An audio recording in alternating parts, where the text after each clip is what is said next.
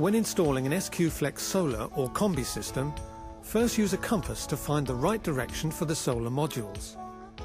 In the northern hemisphere they must face south, in the southern hemisphere they must face north.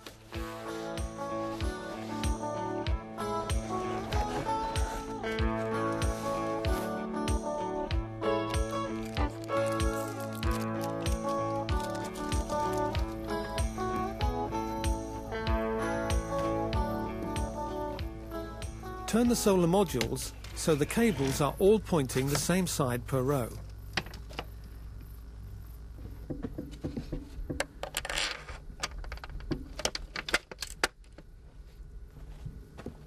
For both end of a row, use the row closure to finish the section.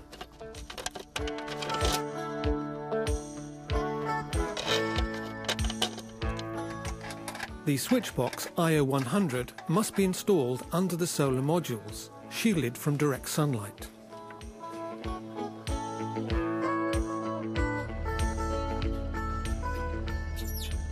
Installing the pump itself follows the normal procedure for a submersible pump installation.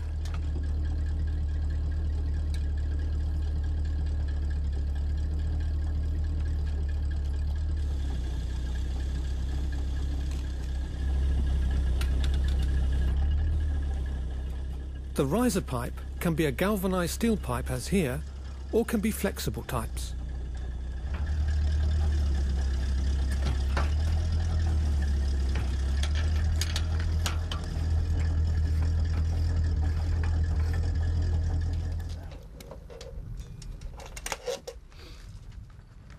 Be sure to use watertight cable joints.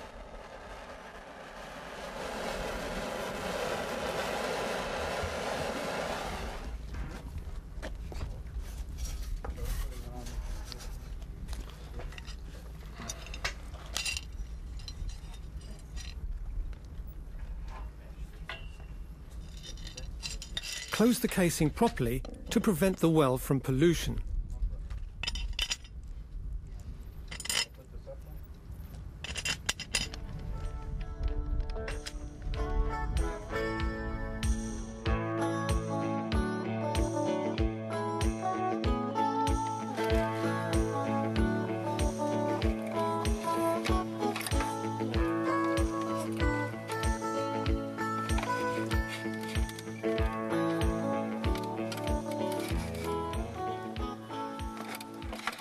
The cables from the pump are connected to the main switch.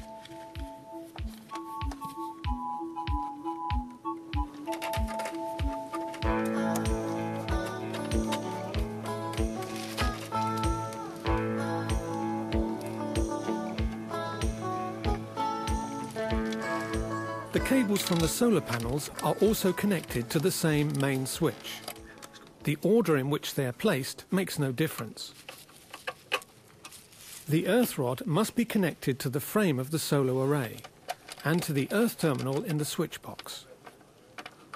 Close the box with the on-off switch in the off position.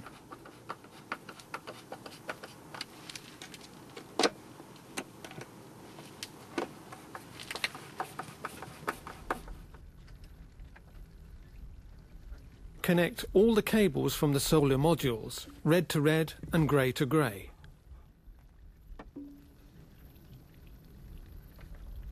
Put the cables into the cable guard between the solar modules.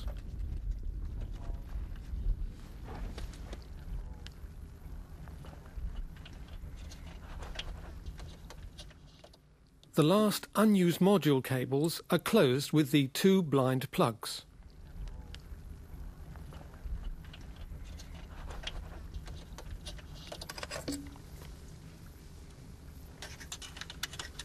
Close the cable guard with the included ground clips. When all the cable work is finished, start the pumping system by switching the on-off button on.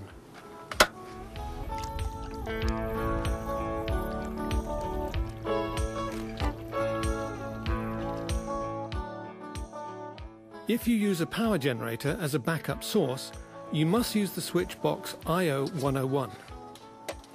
The box must be switched off while the generator is started up. The generator is easily connected to the system using the included cable. Plug in the cable to the IO101.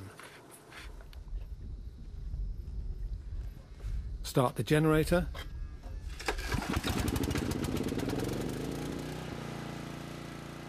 Plug in the cable to the generator and switch on the pump.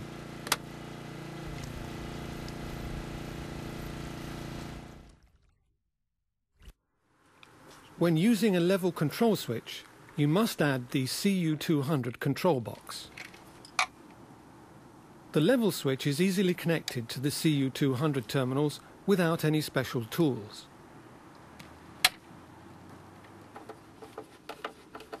Close the box.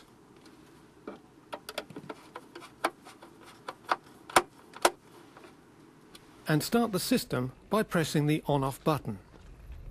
When the supplied energy is sufficient, the pump will start working, which you can see on the running LEDs. High level in the water reservoir will automatically tell the pump when to stop.